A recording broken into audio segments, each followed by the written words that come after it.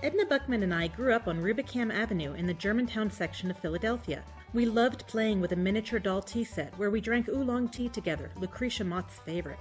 Lucretia was a legend in Philadelphia. A lot of people knew about her because of the Seneca Falls Women's Convention in 1848.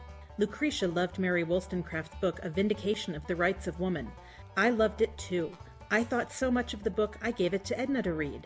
But when my parents found it hidden in my bedroom, I got in big trouble. This was the beginning of a lifetime of me being someone who just didn't belong. So join me, Edna's friend Bess, and find out more on suffrage storytelling.